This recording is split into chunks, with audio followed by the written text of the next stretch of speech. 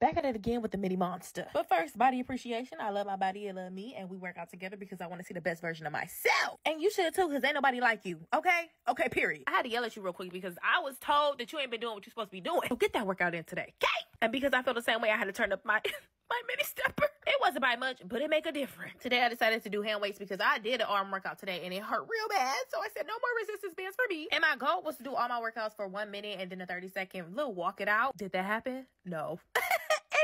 it did not. You want to know why? Because I cannot. I cannot. I cannot. Just like Jocelyn in that clip, I ended up doing it. Also, VH1 is dead ass wrong because it got that clip on YouTube just by itself. In the comment section, don't make it no better.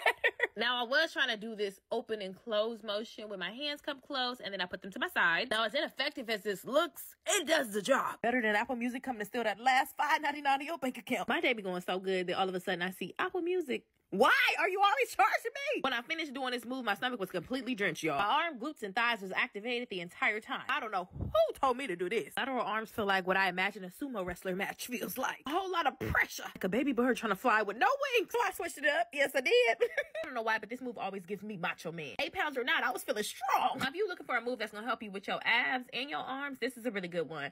Hold them right above your chest flat tabletop and then extend one arm at a time. You'll feel that in the core right away. Now, this is my little walk it out move that I was doing for about 30 seconds, really 45 because I couldn't get to a minute for some of these.